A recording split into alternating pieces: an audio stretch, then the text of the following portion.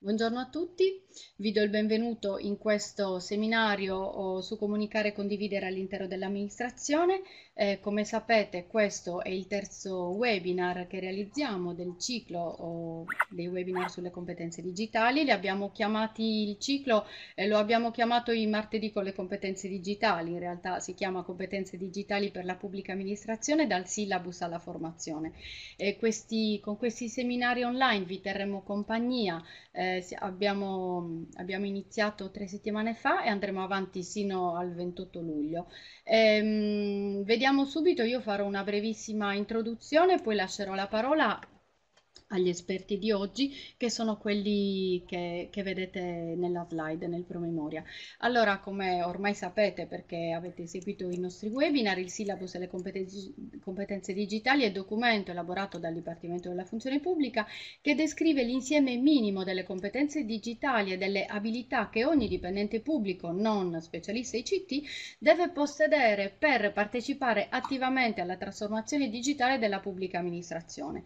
Il syllabus Erasmus, ehm, come, come, avrete visto anche negli scorsi seminari, eh, prevede quindi che si passi da questa sorta di enciclopedia delle competenze digitali alla possibilità di fare una autovalutazione delle proprie competenze digitali e poi quindi di essere orientati alla formazione più opportuna in base alle, ai risultati dell'attività di valutazione. Quindi l'obiettivo di questo ciclo di seminari è quindi affrontare il tema delle competenze digitali per la pubblica amministrazione, vedere quali sono, perché sono così rilevanti, ma raccontare anche qual è il percorso che il Dipartimento della Funzione Pubblica e il Formez, che collabora col Dipartimento in questo progetto, vi propongono proprio per lo sviluppo delle competenze digitali dei dipendenti di tutta la pubblica amministrazione italiana. Quindi ogni webinar di questo ciclo sarà dedicato ad una competenza. Le competenze del syllabus sono 11 e quindi i webinar saranno 11. Oggi, come vi ho detto prima, siamo al terzo seminario. Chiaramente nel webinar che è dedicato ad ogni competenza non potranno essere trattati tutti i contenuti previsti, eh, diciamo che la logica è quella di fornire degli spunti e poi vi daremo anche degli ulteriori materiali che potranno servire per poter approfondire. Per tutto il resto poi ci sarà la formazione che così come vi diremo, vi, darà, vi dirà anche la dottoressa Comito, partirà uh, dal mese di settembre. Quindi veniamo al seminario di oggi. Con col seminario di oggi, vi ho detto prima, iniziamo a parlare della competenza sulla, della comunicazione. Oggi parliamo di comunicare e condividere all'interno dell'amministrazione. Quindi verre, vedremo proprio oh, come comunicare in modo efficace, in modo corretto con i propri colleghi, eh, attraverso quali strumenti, quali sono le attenzioni ed i vincoli. Vedremo quindi i temi chiave della comunicazione descrivendo quali sono i temi, gli strumenti più evoluti per la uh, comunicazione, ma anche vedremo um, come un uso appropriato di questi strumenti è indispensabile per un dipendente pubblico responsabile e consapevole nel gestire il cambiamento della pubblica amministrazione. Voi vedrete moltissimi sono, la gran parte, sono strumenti che noi tutti utilizziamo abitualmente. Ehm, con l'esperto di oggi, Piero Zilio, esperto di comunicazione pubblica, vedremo però come utilizzarli al meglio. Allora, passo quindi a presentare i relatori di oggi. Avremo oh, la dottoressa Maria Laura Comito del Dipartimento della Funzione Pubblica con la quale vedremo oh, una parte proprio sul sistema syllabus, cioè in particolare vedremo quali sono le attività e gli strumenti della comunicazione del progetto. Con lei vedremo anche il sito ci farà vedere uh, nel, nel, dettaglio quindi il sito e le FAC e tutte le varie sezioni. Poi avremo il nostro esperto del giorno del, del contenuto sulla comunicazione, Piero Zilio, esperto di comunicazione pubblica, con cui vedremo, come vi dicevo, quali sono gli strumenti della comunicazione interna, uh, gli strumenti e il modo migliore per utilizzarli. Ehm, allora, una comunicazione di servizio, oh, vi dico subito che come sempre la registrazione del webinar e le presentazioni, le slide dei relatori saranno disponibili sulla scheda dell'evento da questo pomeriggio. Le presenze, le vostre presenze al seminario verranno attestate entro domani E, ehm, così come l'altra volta, eh, in questo momento voi potete salutare e scrivere in una chat, da questo momento però dall'avvio dei contenuti del seminario avrete a disposizione uno strumento domande e risposte nel quale voi potrete porre le vostre domande, in particolare eh, vi dico che per le domande sui contenuti della comunicazione alla fine del seminario ci sarà una breve sessione di domande e risposte, quindi noi prenderemo le vostre domande e le, la, le porremo ai nostri esperti. Eh, con questo io direi mi taccio, non voglio prendere ulteriore tempo ai nostri esperti, aspetto di vedere Maria Laura Comito nel, in video e stacco la mia webcam. Perfetto. Prego Maria Laura. Vediamo la presentazione. Ecco. Allora, eccoci. Allora, buongiorno a tutti. Eh, io sono Maria Laura Comito, lavoro all'Ufficio per l'innovazione e la digitalizzazione del Dipartimento Funzione Pubblica e faccio parte del team di progetto che sta sviluppando eh, l'iniziativa Competenze Digitali per la PA. Eh, in questa introduzione, eh, introduzione, di questo webinar vi illustrerò quelli che sono gli strumenti, gli strumenti a supporto della comunicazione che, che, stiamo mettendo in campo, alcuni sviluppati, altri appunto eh, in via di sviluppo. Sapete che il progetto Competenze Digitali per la PA eh, ha come obiettivo primario quello di promuovere eh, l'autorilevazione e la mappatura delle competenze eh, all'interno delle amministrazioni pubbliche e quindi in qualche modo di fare in modo che i dipendenti pubblici possano accrescere le proprie competenze digitali e possano accedere a dei percorsi formativi che siano customizzati, personalizzati sulla base di una rilevazione strutturata e omogenea appunto dei gap formativi. Eh, chiaramente eh, gli obiettivi di comunicazione sono assolutamente allineati agli obiettivi di progetto, per cui Attraverso le nostre azioni di comunicazione noi intendiamo intanto promuovere la conoscenza del syllabus e anche questi webinar sono uno degli strumenti che, eh, che utilizziamo. Eh, le, le, competenze appunto relative al syllabus, eh, promuovere l'utilizzo del sistema di assessment, ehm, valorizzare, diffondere e capitalizzare eh, le attività e i risultati del progetto, raccogliere feedback, quindi supportare condivisione e scambio di conoscenze ed esperienze a supporto di un processo anche di aggiornamento eh, del syllabus e della sua applicazione nell'APA e eh, naturalmente promuovere il catalogo dell'offerta formativa online. È chiaro che eh, tutti gli obiettivi di comunicazione seguono, eh, le azioni di comunicazione seguono l'andamento del progetto e le sue evoluzioni, quindi eh, saranno eh, sicuramente tutte azioni a supporto delle varie fasi dello sviluppo del progetto le, eh, le, azioni, gli strumenti e in generale l'approccio comunicativo che adottiamo è eh, orientato al target di progetto. Immagino saprete già che il progetto è orientato a eh, tre categorie principali di, di, utenti, diciamo, i dipendenti pubblici, le eh, pubbliche amministrazioni e i formatori, quindi gli enti e le società di formazione. Allora, il dipendente pubblico può essere considerato proprio il target primario del progetto, i dipendenti pubblici che, siano, che abbiano eh, intenzione di mettersi in, in gioco, che siano quindi interessati a intraprendere un percorso di autoverifica delle proprie competenze, che vogliano approfondire la conoscenza e le potenzialità offerte dall'utilizzo degli strumenti digitali per migliorare i servizi resi al cittadino e resi alle imprese, ehm, e in generale appunto per migliorare le proprie competenze ed essere sempre di più protagonisti e, e avere un ruolo partecipe e proattivo nel processo di trasformazione digitale della propria amministrazione. Quando parliamo di dipendente pubblico ci rivolgiamo a un dipendente nella sua accensione più ampia, quindi non parliamo necessariamente di eh, specialisti ICT, cioè parliamo di un dipendente pubblico che non debba progettare, cioè non debba costruire lo strumento tecnologico, ma debba saperlo utilizzare nella maniera più appropriata eh, possibile. Abbiamo poi come secondo target quello delle amministrazioni pubbliche. Le amministrazioni sono coinvolte nell'attività di pianificazione degli interventi formativi per i propri dipendenti e grazie a questa iniziativa possono avere uno strumento che eh, consente loro, consenta loro di ehm, avere una fotografia in tempo reale dello stato, del livello diciamo, delle, di competenze digitali all'interno della propria amministrazione, quindi una mappa costantemente, costantemente aggiornata che possa essere utilizzata eh, a supporto di una gestione più efficace delle, delle politiche del personale e, e anche in ottica di reclutamento. Infine abbiamo eh, le società di formazione che possono costruire appunto i propri corsi formativi, i, propri, i contenuti formativi dei propri corsi in maniera compliant con il syllabus, quindi coerentemente con eh, i contenuti del syllabus, in maniera funzionale a coprire i gap di competenze rilevati. Ehm, allora, quali sono i canali eh, di comunicazione e l'approccio che stiamo utilizzando?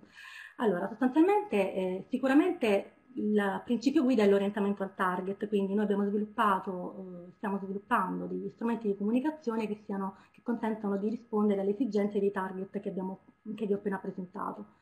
Eh, ricordo che siamo in questo momento in una fase pilota del progetto quindi gli strumenti che stiamo mettendo in campo e che stiamo utilizzando in questo momento sono anche un po' finalizzati a uh, questa sorta di rodaggio dell'iniziativa che poi è, è il, uh, un po' l'output di questa fase pilota.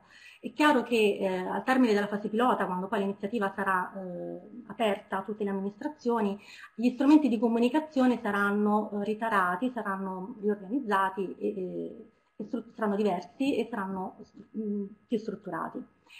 Um, l'elemento diciamo, cardine della, della, della, comunicazione di progetto è proprio il sito web che vi farò vedere tra poco.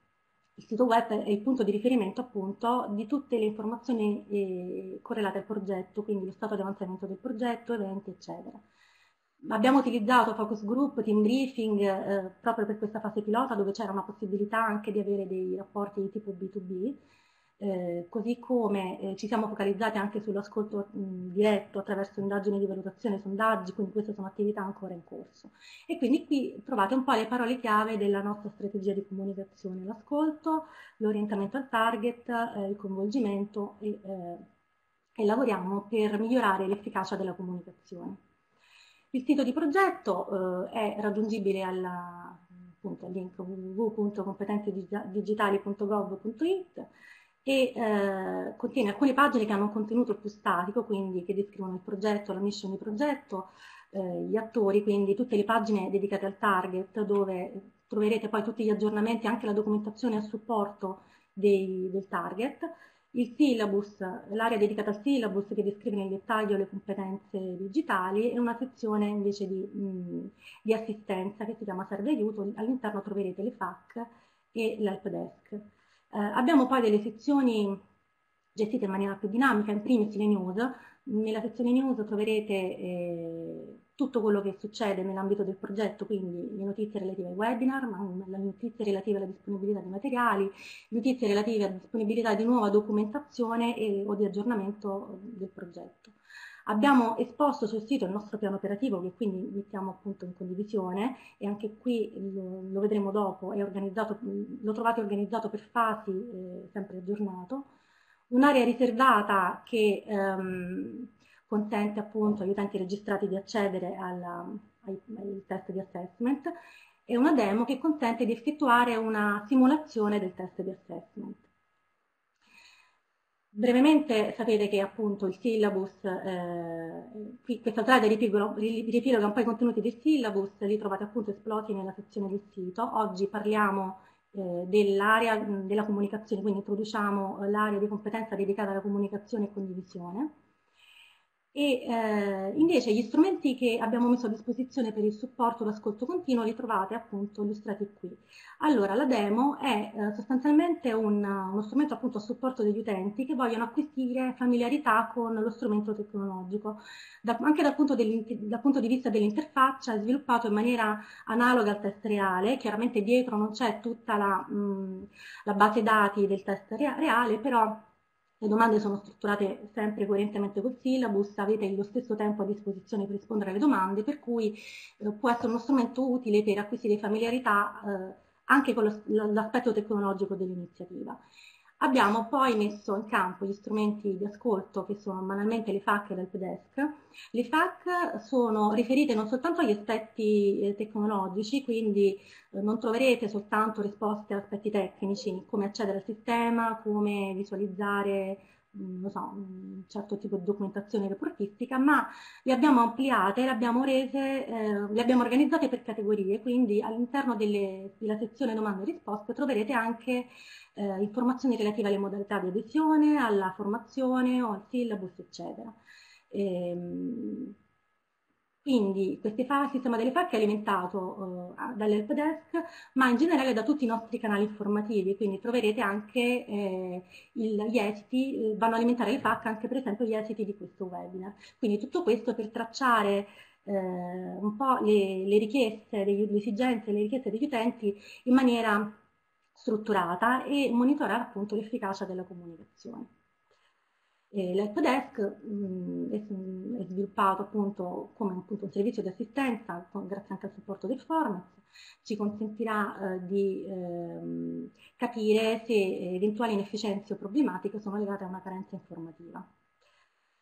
Allora, che cosa trovate andando a concludere rapidamente sul sito? Una sezione dedicata al piano operativo, eh, questo è quello che attualmente vedete, eh, siamo nella fase 3, la fase pilota, Dietro ogni fase avete il, uh, il, dettaglio delle attività che fanno parte fa delle fasi, questo sia per le fasi pregresse che correnti che quelle future. Secondo il planning attuale, eh, entro settembre 2020 sarà possibile, come dicevamo, come diceva Roberta e come abbiamo detto anche nei webinar precedenti, accedere al catalogo della formazione e fruire dei primi moduli formativi sviluppati appunto anche eh, grazie al supporto del Format che saranno resi eh, disponibili, su, accessibili a partire dal sito mh, gratuitamente. Eh, e sarà poi mh, più in generale possibile aderire all'iniziativa. Per cui su cosa stiamo lavorando dal punto di vista della, della comunicazione? Allora, sicuramente nel fornire tutti gli strumenti al supporto di queste fasi che si avvieranno a breve.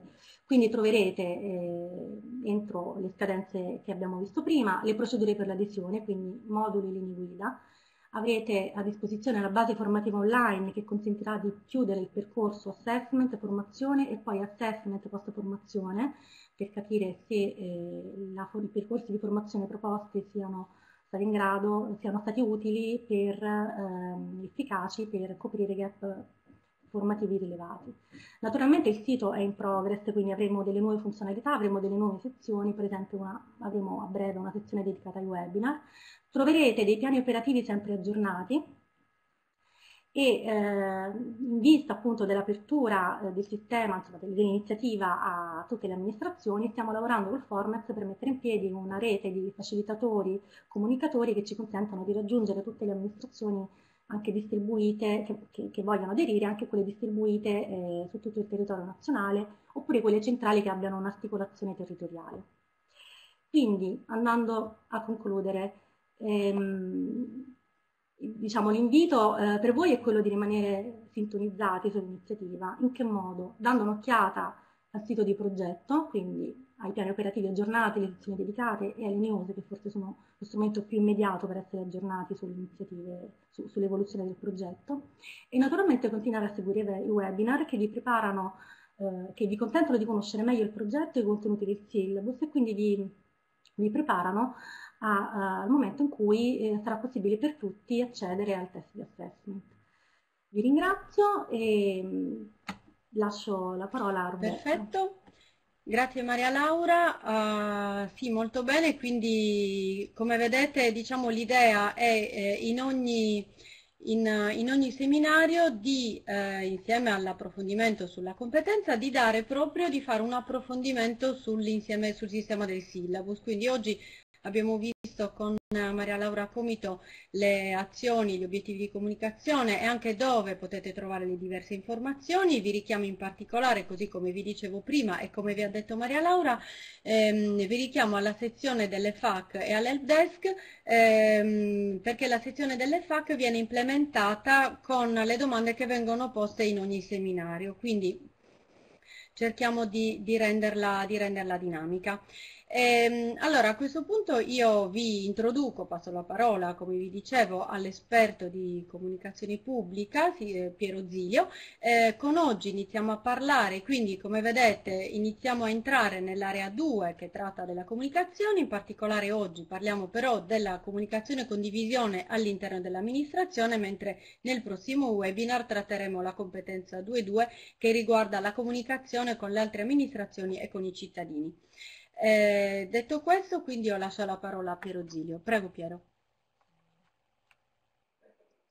Perfetto, grazie Roberta.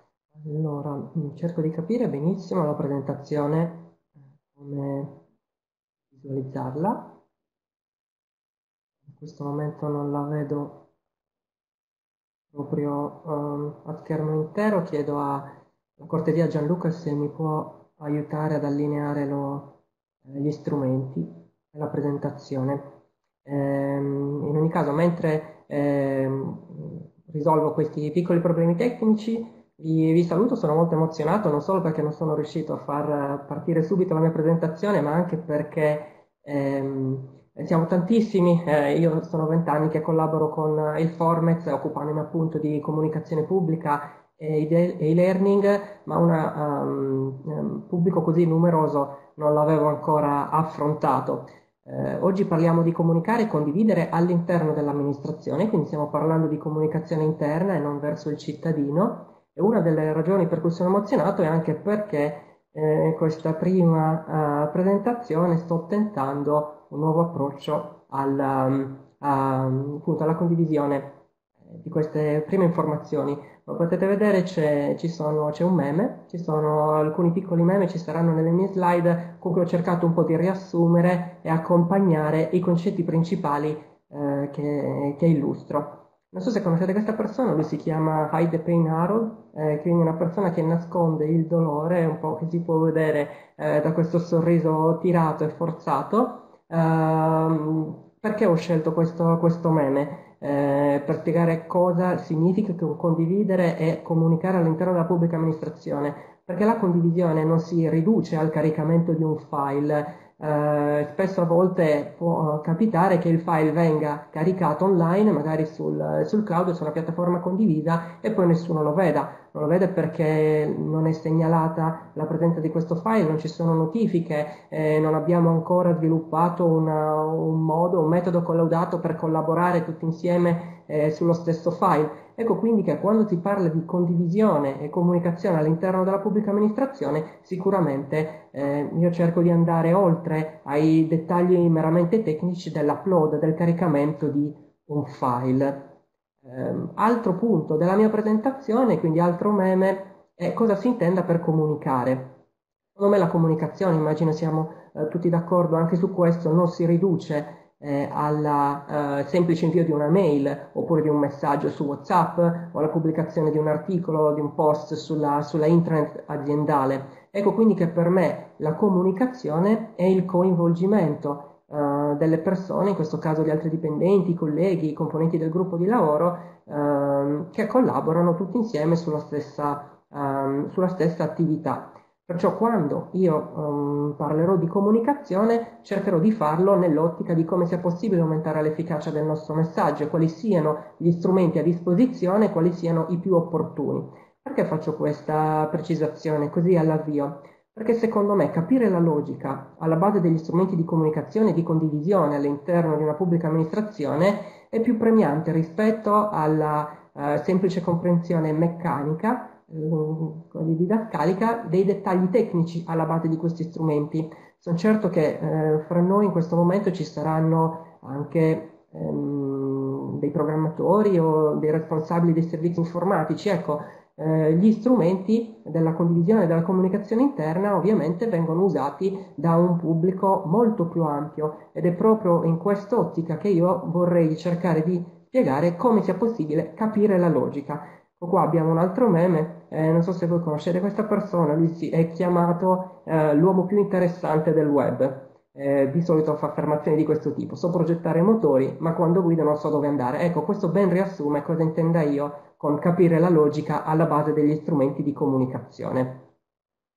Ehm, di questo ne abbiamo uh, parlato, mi pare sia stato uno dei punti uh, di, di, Roberta, appunto la conoscenza di questi strumenti e soprattutto il loro uso appropriato è indispensabile un dipendente pubblico uh, che voglia gestire in maniera consapevole e partecipe, quindi non subire queste tecnologie, ma um, usarle per crescere eh, autonomamente e anche far crescere l'ufficio e l'amministrazione in cui lavora nell'ottica di una pubblica amministrazione più trasparente ed efficiente.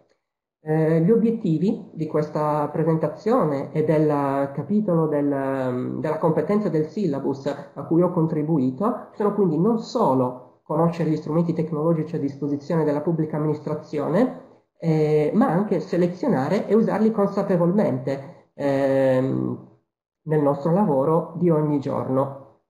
Direi di cominciare dalla posta elettronica, che è uno degli strumenti di cui parlo nel syllabus e che è probabilmente lo strumento di comunicazione più comune con cui abbiamo maggiore familiarità sia all'interno della pubblica amministrazione eh, sia anche eh, nella nostra vita privata. In ehm, questa slide ho cercato un po' di riassumere come funziona eh, la, mm, la, posta elettronica, ma ecco, questo è il massimo di tecnicismo a cui io scenderò nella mia presentazione. Abbiamo qui sulla sinistra um, un um, cosiddetto client, quindi uno uh, strumento che ci consente di gestire eh, questa trasmissione di messaggi eh, di posta elettronica che vengono inviati a un server eh, questo in nero centrale, un server di posta elettronica che poi li smista ai vari destinatari.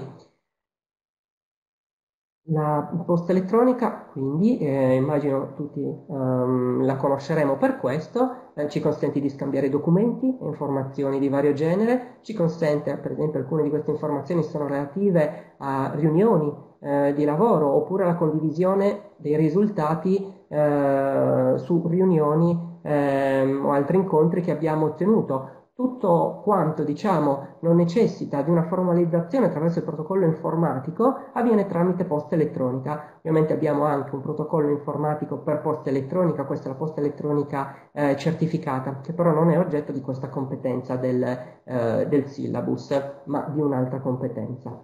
Um, detto quindi, spiegato in due slide come funziona la posta elettronica e per cosa può essere eh, brevemente utilizzata, vediamo anche come è possibile sfruttare il nostro client di posta elettronica. Cosa intendo per client di posta elettronica? È il programma che noi abbiamo sul nostro computer, ma anche sul nostro uh, smartphone, ma è anche da qui che seguiamo le, mm, eh, le conversazioni con la posta elettronica, uh, per creare i messaggi, archiviarli, uh, eliminarli, e così via. Eh, sono programmi eh, di tipo anche open source, come per esempio Mozilla Thunderbird, o sono mh, mm, programmi che troviamo già installati sul nostro telefono. Io per esempio un iPhone e ho uh, mail, possono essere Outlook e così via. C'è un'ampia um, offerta di client di posta elettronica che non consentono, ovviamente, non si limitano a inviare semplicemente un'email. Prima ho parlato di Mm, contenuti delle email relativi per esempio a fissare delle riunioni, fissare eh, degli appuntamenti. Ecco, il nostro eh, cervello qua eh, si illumina, come per il meme, quando passiamo dal semplice invio di un'email alla creazione di appuntamenti ricorrenti su um, un client di posta elettronica o quando, meglio ancora, integriamo il nostro client di posta elettronica, la nostra casella di email, con tutta una serie di strumenti per la gestione dei file sul cloud, per la gestione degli appuntamenti, che cominciano a far eh, dialogare insieme tutte queste applicazioni. Ecco allora che per me non si tratta più di un semplice e meccanico uso uh, della piattaforma di posta elettronica, ma in questo caso di uh, sfruttare al meglio il mio client di posta. Ovviamente sono, è so, questo è solo un esempio delle cose che, uh, che, si possono fare. Io non entrerò nel dettaglio specifico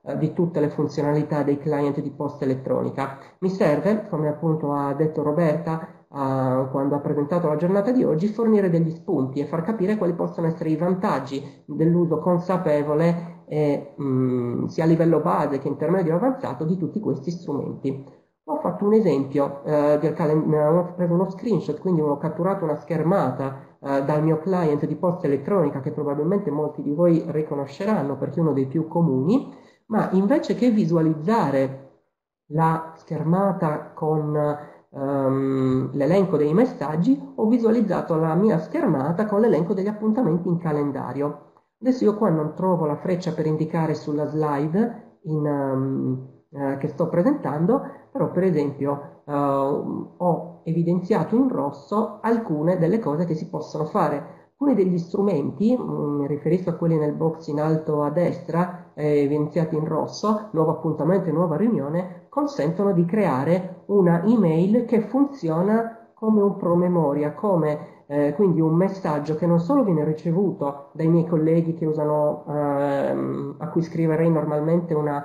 una email di convocazione, ma viene anche aggiunto al loro calendario e questo calendario può essere dei più vari, può essere un calendario sul mio stesso client di posta elettronica, per esempio in questo caso Outlook, può essere un calendario su iCloud, può essere un calendario su Google Calendar, eh, su tutti gli eh, strumenti e le piattaforme eh, che offrono questa funzionalità e ormai la offrono quasi tutte. Ma non solo, quando io ricevo una email, per esempio, mi capita a volte ehm, di ricevere email in cui mh, viene convocata una riunione, ecco che io rispondo, e questo è il secondo quadratino che ho evidenziato in rosso uh, sulla parte destra del, uh, del, mio schermo, rispondo con uh, una mail che trasforma quel filone di discussione in un appuntamento, in una riunione vera e propria. E a questa riunione io posso invitare eh, partecipanti necessari, facoltativi, posso aggiungere un allegato, quindi un programma. Quando finisce questa riunione posso um, aggiungere per esempio il verbale della riunione e così via. Ecco quindi come un client di posta elettronica può trasformarsi in qualcosa di molto avanzato. Adesso ho fatto vedere un client di posta locale, quindi installato su un computer. Abbiamo detto alcuni esempi possono essere mail, oppure possono essere Outlook e così via, ma potrei anche avere un client webmail. E qui c'è uno screenshot di un altro mio account uh, su un client webmail molto conosciuto, quindi Google Gmail, che consente di fare eh, cose molto simili, non solo uh, creare quindi appuntamenti attraverso le email a cui io posso um, rispondere con un sì o un no o un forse immediato, posso aggiungere note, posso um, proporre un nuovo momento d'orario, vedo sempre chi partecipa e chi no, ma posso anche, vedete il pulsante blu che è evidenziato al centro, join with meet, quindi um, um, realizzare con degli strumenti di audio video conferencing uh, avanzati. Quindi ecco come una semplice mail si trasforma in qualcosa di più, si trasforma in opportunità di avere un calendario con dei promemoria e delle notifiche, eh, avere una uh, piattaforma per fare uh, connessioni audio-video uh, e tante altre cose, gestire file allegati. Um, adesso forse mi sono spinto un po' oltre eh, nel, nell'uso avanzato dei client di posta elettronica e quindi nell'uso delle mail. Eh, quindi preferisco fare un piccolo passo indietro e chiarire dove secondo me comincia l'uso avanzato delle email. L'uso avanzato delle email non bisogna essere dei, um, degli informatici o dei eh, super comunicatori eh, per riuscire a farlo bene. Poche regole, poche cose ma buone eh, fanno comunque capire la differenza fra un uso amatoriale e uno professionale di questo strumento. La prima è infatti eh, garantire la sicurezza della nostra casella, perché la nostra casella non contiene soltanto le nostre informazioni, ma probabilmente contiene anche tante altre informazioni, a volte sensibili, dei colleghi e mh, di altre ehm, entità, individui, uffici, eccetera, che scambiano file eh, attraverso questo strumento. Ecco quindi che eh, l'uso avanzato delle email, ed è uno dei punti coperti dal syllabus, è anche eh, la gestione in totale sicurezza a partire dalla scelta della password di una casella di posta elettronica. Adesso um, può sembrare banale, può sembrare l'ennesimo meme, eh, la password con dei numeri in sequenza 1, 2, 3, 4, 5, 6, però ho una piccola uh, storia ehm, tratto da una storia realmente accaduta, anzi dal momento che mi è stato chiesto di fare degli esempi eh, anche tratti dalla pubblica amministrazione italiana, io qui ho voluto farlo, senza rivelare nomi, eh, quindi lascerò a voi scoprire ehm, chi possa essere stato. Eh, c'è stato un periodo nella mia vita in cui ho mm, lavorato come consulente in una grossa pubblica amministrazione ehm, del sud, ehm, in cui c'erano uh, intorno ai 6.000 dipendenti, quindi numeri abbastanza larghi, eh, abbastanza ampi. Ecco, eh, un giorno mi è capitato di entrare in ufficio e vedere affisso su tutte le porte eh, un documento, una pagina stampata in A4 in cui eh, il servizio um, informatico segnalava erano state create le nuove caselle di posta elettronica per tutti e 6.000 dipendenti ehm, e che l'accesso era per tutti, nome e cognome, eh, col password 1234, che poi si chiedeva di, stampa- eh, di, di cambiare ovviamente dopo il primo accesso. Adesso ok, è stato richiesto di cambiarlo, però il fatto di trovarsi affissi alle porte così in chiaro degli annunci che molto candidamente eh, rivelano sia lo username, perché mi basta conoscere il nome di un collega, il nome e il cognome, ehm, e mettiamo che questo collega non sia il, um, il collega della, della, mia stanza, ma sia magari uh, il, il, dirigente o, o qualche figura uh, anche più alta, il direttore, ecco allora che io con username e password Uh, posso fare qualche piccolo danno, posso uh, se non altro entrare e magari cominciare a inviare eh, delle um, email a nome e per conto di una persona, verrò poi mascherato, ma intanto il danno è fatto. Ecco quindi che l'uso professionale, sia che voi siate utenti base, eh, intermedi o avanzati della posta elettronica, comincia proprio dalla scelta di una password. Eh, non solo dalla scelta di una password, ma anche dalla scelta di un oggetto. Io qua cerco di dare, eh, quindi mh, mm, di illustrare non solo i vantaggi dell'uso professionale di questi strumenti, ma anche qualche eh, trucco, qualche eh, suggerimento su come usarli al meglio. E eh, senza spingermi troppo sul tecnico, l'oggetto eh, breve e autoesplicativo di un'email fa la differenza. Perciò in questa mh, mm, tabella che ho qua um, inserito trovate sintetizzati alcuni degli oggetti che sono sicuro tutti noi avremo o ricevuto o spedito oggetti del messaggio come urgente, importante, rispondi, vedi questo, addirittura dei link. Ecco, questi oggetti non fanno capire di cosa eh, si eh, voglia parlare. E dal momento che riceviamo ogni giorno tantissime email e che nostro, la nostra soglia di attenzione è comunque ehm, limitata a causa del sovraccarico informativo che riceviamo, trasformare questi oggetti che non hanno niente di comprensibile ma sono molto vaghi, urgente potrebbe essere qualsiasi cosa, in qualcosa di più concreto, approvazione del bilancio, orari della nuova sede, verbale della riunione e così via, ecco che ci aiuta a risparmiare molto tempo, a ritrovare rapidamente eh, discussioni quando le cerchiamo eh, magari nel motore di ricerca, perché come farò a sapere che la bozza del nuovo sito web della regione era nel filone di email che aveva come titolo importante. Sarà un po' più difficile farlo. Ecco, quindi a partire dalla password e dai titoli, dall'oggetto del nostro messaggio, cominciamo, secondo me, a um, strutturare meglio il nostro uso di questi strumenti di comunicazione e condivisione eh, all'interno della pubblica amministrazione. Chiudo qui la parentesi sulla email e mi sposto verso altri strumenti di condivisione e comunicazione all'interno della PA ehm, che vengono affrontati e illustrati eh, nella competenza 2.1 del syllabus. Uno di questi è la intranet. Eh, cos'è la intranet? Ehm, ho anche fatto una tesi di, di laurea, uh, una cosa come vent'anni fa. La intranet è uno spazio digitale di comunicazione e di lavoro all'interno dell'amministrazione. Questa è può essere una definizione tecnica, tecnologica della intranet. In realtà io adesso la intranet eh, mi sono abituato a vederla come una opportunità, non, solo, non solamente tecnologica, ma soprattutto collaborativa.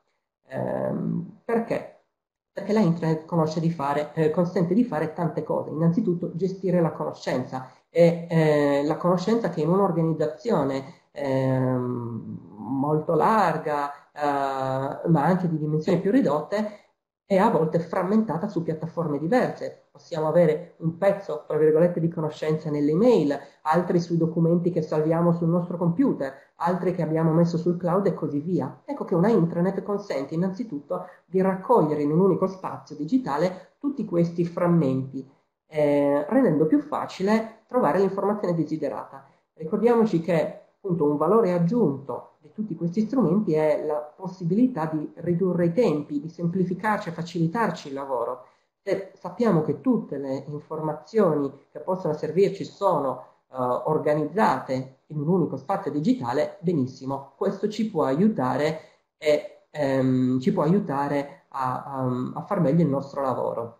Ma la internet non gestisce solo la conoscenza, facilita anche tutte le operazioni che um, vengono messe in atto per la collaborazione all'interno di un ufficio pubblico. Per esempio, uh, spazi di, um, digitali comuni per il lavoro collaborativo, uh, in cui colleghi della stessa squadra, dello stesso ufficio servizio, lavorano sullo stesso progetto o software specifico um, per l'assegnazione di compiti ehm, o anche, mh, anche, banali, anche mh, logistici come la prenotazione di sale riunioni, eccetera, o anche, come abbiamo detto prima, per il protocollo e così via. Quindi le intranet, le intranet consentono di gestire la conoscenza, la collaborazione all'interno di una pubblica amministrazione e anche eh, tutta una serie di fasi eh, di, di, operazioni legate alla comunicazione eh, che migliorano la trasparenza di un ufficio. In, io qua ho scritto tutti gli utenti di una intranet possono, adesso non sempre possono, ma dovrebbero poter contribuire alle discussioni, commentare, valutare gli aggiornamenti o le notizie che vengono pubblicate e dialogare con qualsiasi collega, a prescindere dal proprio ruolo e dalla posizione nella gerarchia eh, organizzativa. Um, a proposito di esempi, um, non so chi di voi conosca la intranet del eh, comune di Venezia, si chiama Antana, e proprio quando si parla di strumento di comunicazione interna e ehm, eh, strumento utile a, a, favorire e migliorare la trasparenza nella comunicazione interna della pubblica amministrazione, Altana secondo me è un ottimo esempio di intranet eh, dell'APA. Eh, per la sua nascita eh, in un ente eh, che è distribuito su circa 260 sedi e conta circa 4.000 dipendenti, eh, per esempio, è stata avviata eh, ormai diversi anni fa una discussione nel forum interno, quindi una discussione aperta a tutti in cui agli stessi dipendenti eh, era chiesto come sarebbe dovuta essere l'intranet eh, che stava per nascere. E conoscere le esigenze, quindi questa indagine e ascoltare queste esigenze del personale è chiaramente un segno di trasparenza della pubblica amministrazione, trasparenza non solo ehm, parole o tecnologica, ma anche nei fatti con l'uso che poi viene fatto di queste tecnologie. Eh, sempre a proposito eh, di esempi tratti dalla pubblica amministrazione, qui abbiamo il nostro eh, Picard, uno dei personaggi dei meme molto famosi eh, su internet, con tre strane lettere, WTF, che non tradurrò in questo contesto, eh, che ehm, ha uno sguardo un po' sorpreso perché eh, la intranet è una rete privata ad uso interno eh, e quindi riservata strettamente al personale autorizzato di una pubblica amministrazione. Io qua ho cercato, ho fatto una ricerca su, su Google, eh, ho, cercato, ho trovato ovviamente la uh, pagina uh, de, di questa intranet del Comune di Venezia, ma noto che Google è riuscito in qualche modo a indicizzare alcuni contenuti ehm, che probabilmente eh, mh, potrebbero anche non essere resi pubblici trattandosi di una intranet. Eh, per esempio qua, non so se vedete in basso a destra, abbiamo questo CV template barra di sotto it, it ecco un curriculum probabilmente ehm, se caricato sulla intranet non necessariamente dovrebbe ehm, essere anche di pubblico dominio. Um, perché faccio questa puntualizzazione? E quindi questo lo chiamo esempio con margine di miglioramento. Le, le nostre critiche sono sempre costruttive. Ehm, l'abbiamo presentata prima come esempio di buona pratica, ma è ovvio che c'è sempre un, un certo margine di miglioramento. Uh, quando usiamo le tecnologie è molto facile eh, trovare il modo per fare qualcosa, per pubblicare qualcosa, di solito si riduce in un avanti, avanti, avanti, mi auguro uh, con lettura consapevole delle istruzioni, dei pulsanti eh, di avanti eh, che ci spiegano cosa stiamo facendo. Ecco però che la semplicità tecnologica deve essere anche accompagnata a una consapevolezza di cosa si fa. Um, il sistema di Altana è costruito con, questi sono tutti dati pubblici, non, non sto rivelando niente di che, il sistema di Altana è costruito su un sistema open source, Drupal, eh, che consente quindi di eh, non solo ottimizzare i contenuti per i motori di ricerca, ma anche specificare quali di questi contenuti debbano essere resi visibili e, questi, eh, e quali invece no. Ecco quindi che eh, non basta realizzare in questo caso uh, una intranet, c'è sempre da uh, levigare un po' e, e migliorare eh, il nostro apparato, magari anche vedendo cosa è aperto ai motori di ricerca e cosa invece è eh, visibile soltanto a noi. Ricordo infatti che in questa competenza del syllabus, in questo webinar, ci stiamo concentrando sulle comunicazioni interne, quindi sugli strumenti di comunicazione e di condivisione interni alla pubblica amministrazione, riservati a, a chi lavora in questi uffici. Um, per quel che riguarda invece eh, la sezione spunti eh, di, questo, di, questo, webinar, io ho fatto uno screenshot, quindi ho catturato la schermata non proprio di una intranet, ma di un sito web eh, pubblico, della pubblica amministrazione, in questo caso siamo nel Regno Unito, eh, che come vedete da questa grande barra eh, blu orizzontale parte e si concentra da subito eh, su una funzionalità ben precisa il motore di ricerca. Abbiamo parlato prima del motore di ricerca, l'indicizzazione su Google in eh, maniera diciamo un po' negativa, adesso però vediamo come la ricerca sia una funzionalità in realtà che io valuto, reputo una killer app, quindi una killer application, una uh, funzionalità che fa decollare l'uso di una intranet. Uh, il governo del Regno Unito ai cittadini il sito ufficiale come primo strumento, come prima funzionalità offre il motore di ricerca e questo è un po' vero anche per noi. A tutti piace pensare che ehm, chi cerca informazioni eh, sui servizi del nostro assessorato, del nostro comune, della nostra università e così via, eh, si colleghi alla pagina del nostro sito web. In realtà la vera home page del nostro sito web non è mai la home page del nostro sito web, ma è Google, perché è lì che il grosso delle persone apre eh, il proprio computer e eh, poi ehm, cerca, non lo so, borsa di studio ehm, per poi approdare al sito di un'università. Eh, giusto così un esempio. Eh, le killer application, quindi secondo me per Internet una delle killer application è sicuramente la funzionalità di ricerca.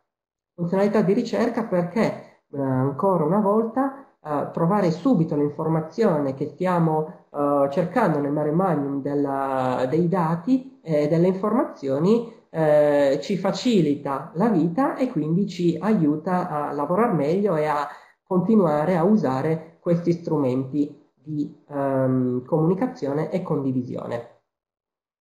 Eccoci qua a uno, dei, miei meme preferiti, eh, questo è Boromir, che in una scena del Signore degli Anelli dice uno semplicemente non va a Mordor, quindi una città eh, pericolosa e, e, nemica, io qua l'ho trasformato in uno semplicemente non entra in una intranet perché può. Ho parlato di killer application, eh, quindi di incentivi eh, o funzionalità che possono favorire l'uso di questo strumento da parte dei dipendenti della pubblica amministrazione, ehm, gli incentivi non finiscono lì ovviamente, ci sono tante intranet o tanti forum di discussione che sono, tendono, eh, se non curati, a diventare luoghi di desolazione e abbandono, ecco che dobbiamo quindi ehm, stimolare, eh, animare eh, e motivare la partecipazione dei dipendenti ai nostri strumenti. Avremo anche le funzionalità migliori, ma se non le facciamo conoscere, se non incentivia- incentiviamo il loro uso da parte dei nostri colleghi, difficilmente questi strumenti eh, prenderanno piede e quindi avremo l'ennesima frammentazione delle nostre conoscenze, un pezzo per l'email, un pezzo sulla cloud e così via.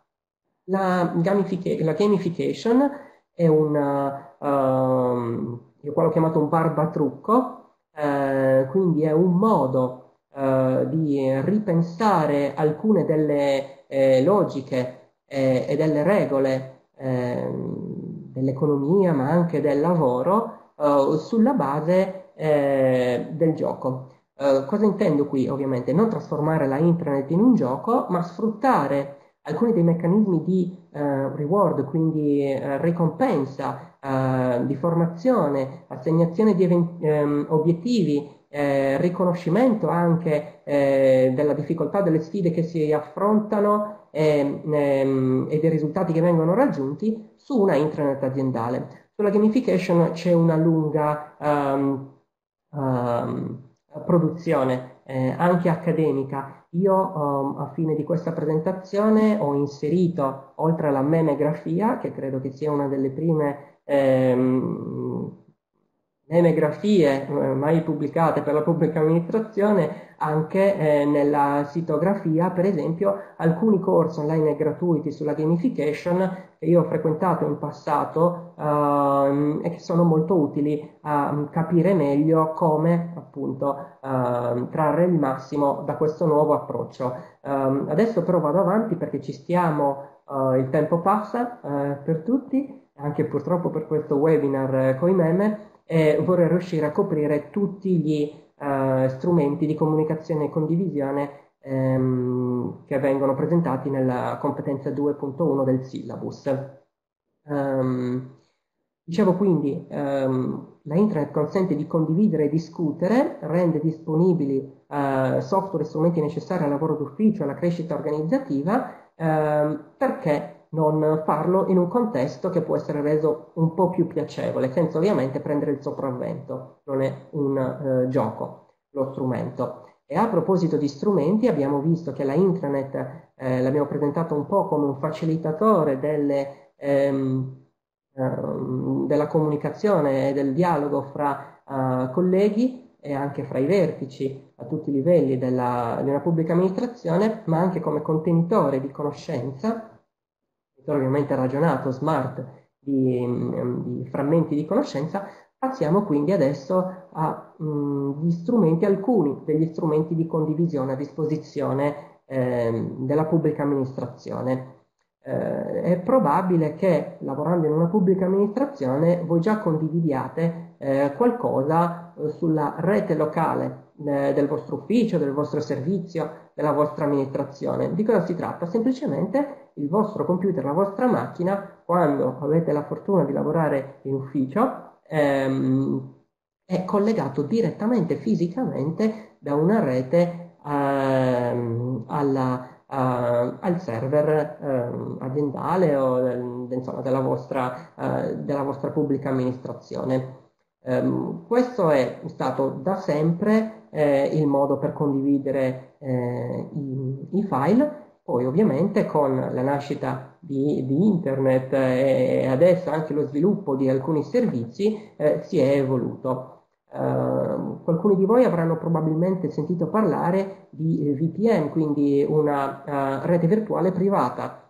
Uh, che cos'è questa rete virtuale privata? È quando viene usata per esempio una sede distaccata di un ufficio che ha comunque accesso ai server condivisi in cui uh, sono caricati, so, i file, i modelli di um, alcuni moduli di, di, domande e così via. Ecco, quindi una uh, rete virtuale privata è un altro modo per condividere con i documenti. Documenti, adesso se ne fa un gran parlare, cioè adesso già da diversi anni in realtà, um, um, il cloud è invece uno spazio di archiviazione online eh, in cui è comunque possibile eh, condividere i nostri documenti. Come funziona? Semplicemente tutte queste eh, informazioni sono inviate, si dice nel cloud, quindi sono in alto sulle nuvole, in realtà ci sono dei server che fisicamente ehm, ospitano eh, tutti questi dati e queste informazioni, consentendo poi a noi dipendenti della pubblica amministrazione di trarre il massimo vantaggio eh, da questi strumenti. Eh, perché dovremmo condividere i documenti? Secondo me ci sono tre importanti vantaggi. Adesso non è una sfida, sono sicuro che voi riuscireste a trovarne mh, mm, anche altro oltre questi primi tre, ma partiamo diciamo uh, da questi tre vantaggi. Il primo è l'immediatezza. Fai le cartelle condivise, sono immediatamente disponibili non soltanto a noi, ma anche a tutta una serie di utenti eh, contemporaneamente senza che noi eh, si debba inviare un'email con degli allegati, magari con delle cartelle compresse che poi non si capisce mai come devono essere ehm, decompresse per ricreare la struttura di cartelle dentro le cartelle eh, che avevamo previsto all'inizio, non devono essere trasferiti su una pennina USB da portare poi nella, nell'altro computer e così via. L'immediatezza quindi con cui è possibile rendere disponibili eh, file e cartelle è sicuramente uno dei vantaggi della condivisione di file eh, all'interno della pubblica amministrazione, come abbiamo visto, attraverso una rete locale, attraverso una VPN o anche sul cloud. Un altro vantaggio è l'accessibilità. Questi file sono sempre disponibili, possono essere condivisi e consultati facilmente e soprattutto possono, essere, possono esserlo in modo sicuro. Quindi da remoto e con, con, dispositivi, mm, con dispositivi, diversi, io posso collegarmi anche col mio uh, smartphone, uh, se sono autorizzato ad accedere a quella cartella posso uh, vederne il contenuto. Quindi, ricapitolando, mm, i primi tre vantaggi, i primi due che abbiamo visto sono stati l'immediatezza e l'accessibilità con cui possiamo condividere queste eh, informazioni.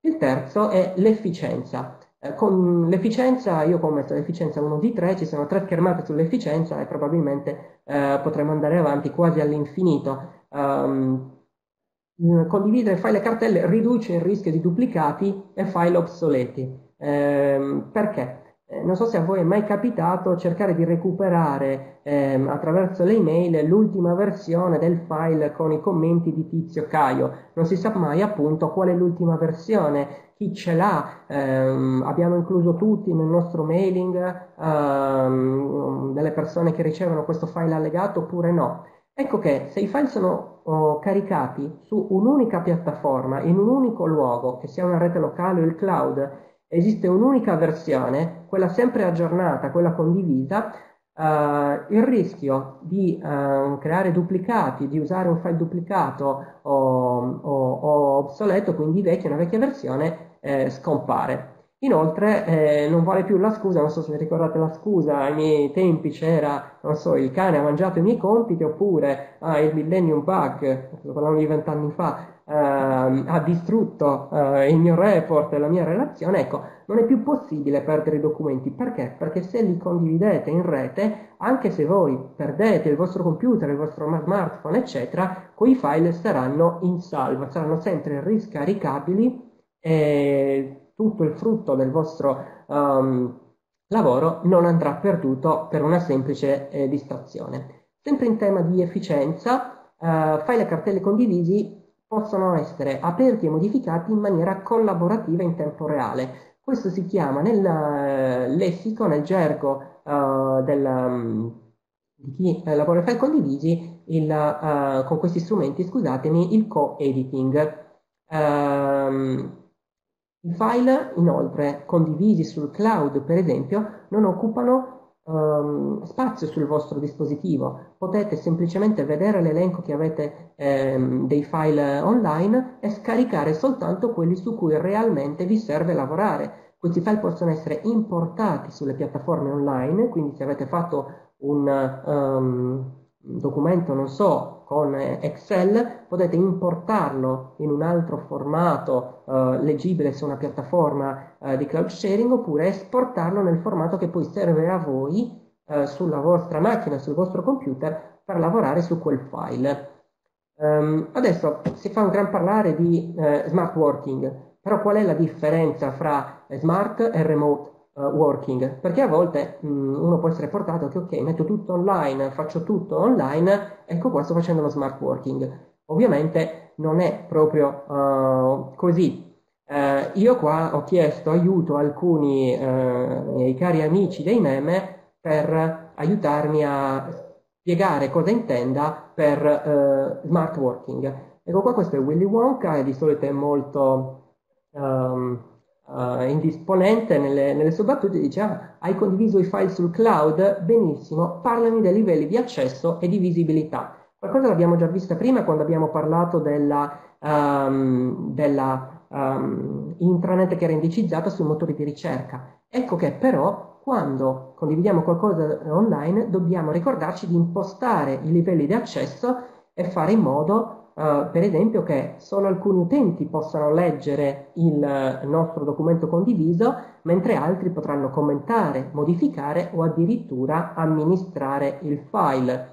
Uh, questo vale anche per la visibilità. Il documento che abbiamo uh, condiviso è pubblico e quindi visibile a tutti, è anche in questo caso indicizzato nei motori di ricerca, è nascosto, quindi visibile solo chi ha un link, ma non è indicizzato dai motori di ricerca o è privato e quindi protetto da password. Queste sono um, banalità che però a volte mancano uh, nell'uso quotidiano um, delle piattaforme um, di cloud per, per, condividere strumenti uh, sul, sul, cloud. Uh, spesso mi capita infatti di accedere a documenti che hanno magari anche informazioni abbastanza sensibili o riservate eh, semplicemente attraverso il link eh, in realtà io dovrei proteggere con una password quelle informazioni. Alcune piattaforme, fra l'altro, consentono di limitare la condivisione anche all'esterno di domini autorizzati della propria organizzazione e questo introduce un ulteriore livello di um, eh, sicurezza alle informazioni che condividiamo. Uh, gli, spazi di informa- eh, gli spazi di um, archiviazione eh, di questi file e cartelle della pubblica amministrazione devono essere tenuti sempre aggiornati. Eh, anche qui ehm, io adesso accelero un po' per riuscire a um, coprire tutti gli argomenti che vorrei coprire quest'oggi, ma eh, mi capita spesso di trovare quei famosi luoghi desolati, abbandonati, che però sono pieni, stracolmi ancora una volta di dati sensibili, occupano spazio, ehm, colleghi che magari non lavorano più in quell'area hanno ancora accesso a quelle risorse. Ecco che il mio suggerimento per un uso smart di questi strumenti è eliminare i file inutili e rimuovere gli utenti che non sono più necessari. Uh, non so se voi conoscete questa, lei è la um, Overly Attached Girlfriend uh, e mi aiuta qui a trasmettere un altro concetto. Eh, grazie per avermi aggiunto sul cloud, ora visualizzo tutta l'attività e i dettagli dei file, quindi commenti, revisioni, eccetera, eccetera. Adesso io qua sto scherzando, questo in realtà per me è un vantaggio di usare questi strumenti, perché mi consente, evitando, eh, eh, non so quanti di noi ancora eh, usino um, evidenziare in rosso o in giallo i commenti o le revisioni del testo, ecco, mi consente attraverso la modalità di revisione, la cronologia delle modifiche e le notifiche automatiche di ehm, modificare, eh, scusatemi, di ehm, intervenire sul testo eh, in maniera più pulita. Uh, qua io ho fatto un esempio, questo è un file che ho condiviso sul cloud, ecco che eh, in verde, in basso su questo file Excel ehm, trovate la modifica che sto evidenziando, questa che è del 25 maggio, quindi di ieri alle 8.56 del mattino, e io posso sempre ripristinare le vecchie versioni, quindi ho sempre il controllo, pur avendo un solo file, di chi ha fatto quale cambiamento e posso tornare indietro se questo dovesse essere un cambiamento distruttivo. Um, ecco qua Picard, che come avrete intuito è uno dei miei preferiti personaggi dei meme. Eh, qua abbiamo Picard eh, che mh, mm, ci aiuta a trasmettere questo messaggio. Quando abiliti il co-editing, quindi abbiamo visto la possibilità di scrivere tutti insieme e lavorare contemporaneamente sullo stesso file, ma continua a ricevere le email con i soliti allegati che sono sempre ultima versione di, poi ci aggiungiamo un final, def, ultimo, ultimo, ultimissimo e così via. Ecco, tutto questo con la condivisione dei file e con la modalità di lavoro in co-editing non accade, perché noi su un documento, in questo caso abbiamo un documento di Word, possiamo lavorare in contemporanea, eh, vedendo qua in basso le tre persone nel, nel, rettangolino rosso in basso a sinistra che in quel momento sono mm, collegate sul file e avendo a disposizione modalità di revisione, commenti e così via. Uh, stessa cosa vale anche mh, per altre piattaforme che consentono di segnalare, quindi notificare, inserire commenti uh, su, uh, in questo caso, un altro foglio di calcolo. ultima cosa, qua abbiamo il, si chiama, lui si chiama Successful Kid, ricordatevi che c'è una memegrafia a fianco alla, alla conclusione della bibliografia, della normativa, eccetera, di queste presentazioni. Quando integri con successo gli strumenti di condivisione, ecco, tu hai questa faccia. E cosa vuol dire integrare con successo gli strumenti di condivisione?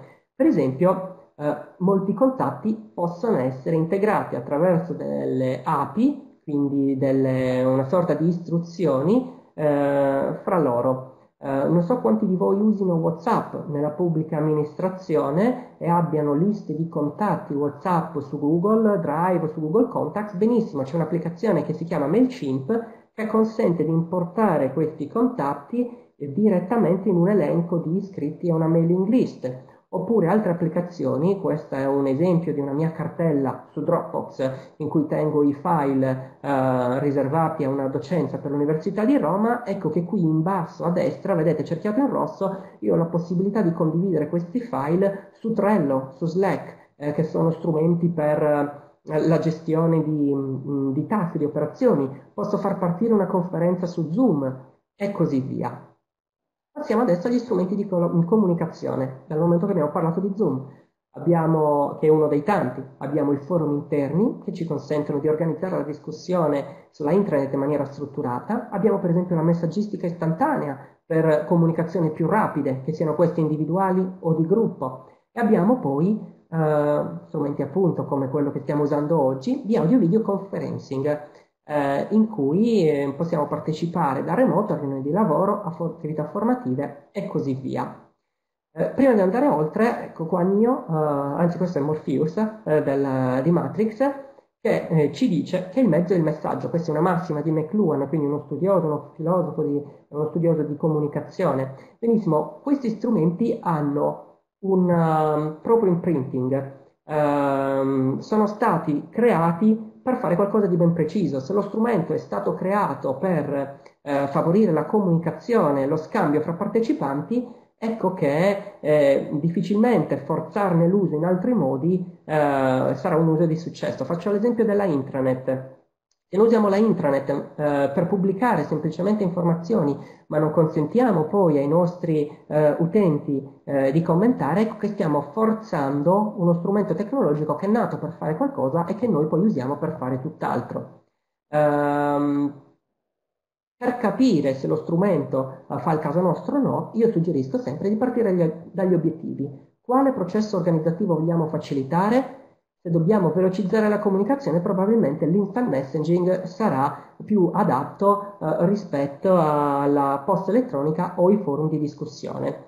Ho qua poi presentato una metodologia di eh, passi eh, per um, scegliere lo strumento. Noi di solito partiamo qui alla base, vedete io ho scritto mezzi strumenti alla base di questo punto elencato e diciamo ok, facciamo qualcosa con eh, eh l'audio video conferencing, facciamo qualcosa con quest'altro e poi però ci eh, scordiamo di tutto quello che c'è sopra. Prima di scegliere il mezzo dovremmo fare un'analisi del nostro scenario, quali sono i processi organizzativi che vogliamo migliorare, definire gli obiettivi, scegliere gli interlocutori. Ecco, prima si è parlato di target, eh, a me non piace molto usare questa parola target perché l'imprinting è un po' quello del marketing degli anni 50 degli Stati Uniti in cui eh, noi abbiamo dei bersagli da colpire, quando usiamo strumenti di condivisione e comunicazione interna alla pubblica amministrazione, noi abbiamo degli interlocutori, per cui persone con cui vogliamo avere un dialogo, uno scambio, una partecipazione, non persone semplicemente eh, da colpire, e così via. Um, ci sono qua alcuni esempi di come strutturare meglio il nostro testo. Um, dal momento che abbiamo parlato di scrivere email, scrivere eh, contenuti su una intranet e così via. Uh, io vi ricordo la regola del triangolo d'oro, questo modello F, per cui noi tendiamo a leggere banalmente la prima parola della prima frase e tutto il, resto lo saltiamo. Quindi cerchiamo di scrivere eh, le cose più importanti all'inizio della nostra email, del nostro messaggio su WhatsApp e quando eh, organizziamo sistemi di audio video conferencing ricordiamoci dei dettagli. Eh, perché ok, è semplice sentirci tutti su una piattaforma online di audio videoconferencing, poi però cosa succede? Silenzi imbarazzanti, difficoltà nell'accendere uh, i microfoni, uh, rumori di sottofondo, ci dimentichiamo di, uh, che abbiamo condiviso lo schermo e facciamo vedere che stiamo navigando tutt'altro, magari sulle nostre email e così via. E ho fatto un uh, schemino riassuntivo molto simile anche per le chat, visto che parliamo dei sistemi di instant messaging, eh, differenziando le cose fra gruppi improvvisati e gruppi invece che ho chiamato pro. Eccolo qui. Eh, io adesso ho concluso, rispondo rapidamente alle domande che mi avete fatto e nel mentre che leggo queste domande vi lascio eh, con questo messaggio complottista, no non è un messaggio complottista, però è un, è un monito a mh, mm, scegliere eh, consapevolmente le nostre applicazioni di condivisione e comunicazione perché la scelta della tecnologia eh, um, realizza il cosiddetto lock-in, quindi ci mette in un rapporto di dipendenza con quella tecnologia stesso. perché se noi usiamo per eh, dieci anni eh, Google, per esempio, per il nostro sistema di comunicazione e di condivisione dei, mes- eh, dei file, se Google un giorno decide di cambiare i termini del servizio, ecco che noi avremo qualche problema in più nel cambiare, nel trovare un fornitore differente. Eh, allora, una delle domande è stata, a proposito di applicazioni per fissare le riunioni di lavoro, è necessario che tutti i partecipanti abbiano la stessa email? Eh, no, i partecipanti possono usare eh, client di email diversi. L'importante è che questi client supportino un formato di file per le esercitazioni. Eh, Roberto, io ti vedo in video, interrompimi pure quanto vuoi. Le domande... Un secondo solo. Ti chiederei di andare verso la fine delle tue slide, così facciamo vedere anche quelle nelle quali hai messo i suggerimenti di normativa e siti utili da consultare. D'accordo. E così sì, nel frattempo ti mettiamo le domande in modo che tu le possa vedere meglio. Ottimo, le mie slide, e possiamo tirare tutti un sospiro di sollievo, io posso riprendere a respirare, sono finite, questa era l'ultima slide, quindi adesso cominciano le slide, eh, diciamo, con la normativa ehm, legata in particolare qui alle modalità di lavoro remoto eh, per la pubblica amministrazione, la sitografia in cui ho dato magari anche qualche riferimento e consiglio un po' più tecnico, uh, su come realizzare alcune delle cose che ho semplicemente accennato. Eh, la bibliografia, io qua ho messo soltanto un corso online e un libro, e poi eh, la memegrafia, giusto per chi eh, magari non avesse ehm, avuto tutta questa familiarità con eh, i meme, eh, da qui può ehm, magari, ehm, non dico apprezzare, ma intuire meglio quali erano i miei giochi. Um, quindi um, si chiude qui la, la mia presentazione um, e riprendo con invece le, le domande. Sì, prego Piero, io ho, per i partecipanti lo dico, ho selezionato le domande, ad alcune Piero aveva risposto nel frattempo eh, nel seminario, quindi non, le ho, non gliele ho poste, queste sono alcune che ho selezionato. Prego Piero. Allora, uh, un, ad esempio, mh, faccio adesso le domande sul cloud. Una domanda sul cloud, immagino abbastanza ricorrente, sia l'eliminazione dei file dal cloud è sicura? Allora, di sicuro c'è, non c'è niente, c'è solo una cosa e non la dico ora, uh, però diciamo che se vogliamo la sicurezza dobbiamo sicuramente lavorare isolati, sconnettere il nostro computer da qualsiasi rete, anche locale, e restare lì. Uh, diciamo che ci sono dei termini del servizio eh, perciò chi offre il servizio di eh, cloud, condivisione sul cloud, si impegna a rispettarlo. Eh, ma ehm, come quando prendiamo l'aereo, sì, in teoria non dovrebbe succedere nulla, dobbiamo mettere sempre in, una, in conto una certa percentuale di rischio. Eh, perciò io mi sentirei di dire sì, è sicura, ammesso e non concesso che di eh, sicuro ci sia soltanto una cosa nella vita. Eh, la, un'altra domanda, sempre sul cloud, mi chiede, il cloud ha una limitazione temporale? Allora, non necessariamente. Se il cloud è un servizio a pagamento con un abbonamento di, eh, che si rinnova mensilmente, allora sì, ha una limitazione temporale. A volte il cloud però ha una limitazione di spazio. A proposito del lock-in di cui ho parlato prima, quindi essere vincolati a un fornitore e all'eventuale cambio dei servizi, le più comuni piattaforme di cloud, ehm, da OneDrive a Dropbox, eccetera, anche Google, eh, fino a qualche anno fa offrivano uh, spazio illimitato. Ecco, si sono rese conto che adesso con i terabyte che noi possiamo produrre in termini di video e, e possiamo produrre veramente tante cose, eh, lo spazio illimitato è un'utopia, almeno per ora. E quindi hanno cambiato i termini del servizio. Chi aveva comprato quelle, ehm, quelle piattaforme per, o usato quelle piattaforme eh, contando nel cloud infinito, nello spazio illimitato, si è trovato ad avere qualche, eh, qualche problema. Sempre in termini di sicurezza, uh, una domanda sull'utilizzo di software gratuiti uh, come Meet, Zoom, eccetera. Uh, mi avete chiesto se il servizio informatico è responsabile per accertare la sicurezza. io direi di sì. Ehm, come dicevo prima, è molto facile usare questi strumenti. Avanti, avanti, avanti, accetta, crea. No, ovviamente sto um, ragionando per eccesso non è questo il modo in cui si usano, però tecnicamente eh, eh, tutti possiamo farlo. Abbiamo però poi bisogno di una valutazione di tipo un po' più tecnico e certamente il servizio informatico è il servizio in grado di accertare la sicurezza dello strumento. Se questa domanda era riferita alle recenti falle eh, di Zoom, soprattutto a marzo, insomma nei giorni di boom del lockdown, eh, ripeto ancora una volta, di sicuro c'è solo una cosa. Eh, vediamo un po'. Um, ci sono alcune um, domande um, sulle quali, eh, non essendo io un giurista, eh, non mi sento di rispondere. Per esempio, eh, gli obblighi a carico delle amministrazioni eh, sulla trasparenza verso l'interno. io ho messo qualche riferimento normativo, però non essendo propriamente il mio ambito, evito di, di sbilanciarmi.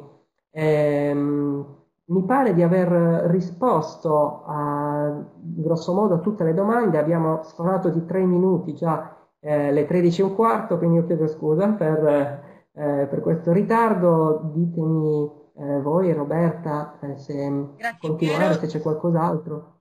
No, direi non c'erano, non c'erano altre domande perché poi molte si ripetevano. Eh, sono, sono, arrivati, devo dire, anche, anche in chat molti, molti, complimenti per la presentazione. Personalmente ti ringrazio perché era, è stata una presentazione così, come dire, molto divertente. Eh, sappiamo che l'apprendimento passa assolutamente anche attraverso il divertimento e lo stupore e le sorprese. Quindi, come dire, se, se volevi farlo ci sei riuscito. Eh, Personalmente correrò subito a modificare le impostazioni della, della, condivisione di alcuni miei strumenti perché ho scoperto di, di, di fare il 90% degli, errori che hai, che hai nominato. Eh, quindi ringrazio Piero. Allora, alcune comunicazioni prima del prossimo seminario. E intanto le slide sono già pubblicate nella scheda dell'evento, la registrazione del webinar sarà disponibile da questo pomeriggio. Ehm, come sempre tra qualche giorno pubblicheremo la scheda del prossimo seminario, al momento oh, vi ricordo che martedì 2 giugno è vacanza, ci prendiamo vacanza anche noi e quindi non ci sarà il seminario. Il prossimo webinar sarà il 9 o il 16 giugno, non siamo ancora sicuri quindi vi chiedo, così come siete ormai abituati a fare, vi chiedo di vedere appunto le pagine di eventi, il calendario di eventi PA e riceverete comunque una comunicazione attraverso la nostra mailing list che si forma proprio attraverso i partecipanti a ogni seminario, quindi insomma più partecipate più venite inseriti nelle nostre mailing list. Ehm, aggiungo ancora che anche attraverso le domande che sono state fatte sul sistema del syllabus, sul funzionamento, eh, noi incrementiamo le nostre FAC disponibili sul sito, così come vi ha raccontato prima eh, la dottoressa Maria Laura Comito, quindi eh, consultate le FAC e utilizzate il servizio di helpdesk qualora ne aveste bisogno. Devo dire oggi ci sono state poche domande sul, sul syllabus, sul sistema e sull'adesione, più domande sui contenuti. A questo punto vi do appuntamento al prossimo webinar, abbiamo sforato qualche minuto, vi ringrazio quindi per la pazienza, vi auguro buon pranzo, arrivederci al prossimo. Buongiorno a tutti.